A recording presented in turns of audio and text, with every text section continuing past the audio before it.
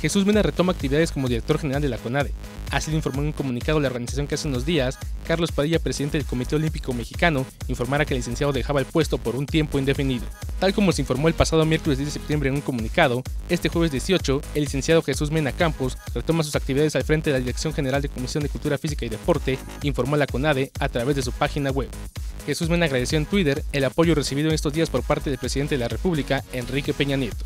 Para MBM Deportes, Yair Toledo.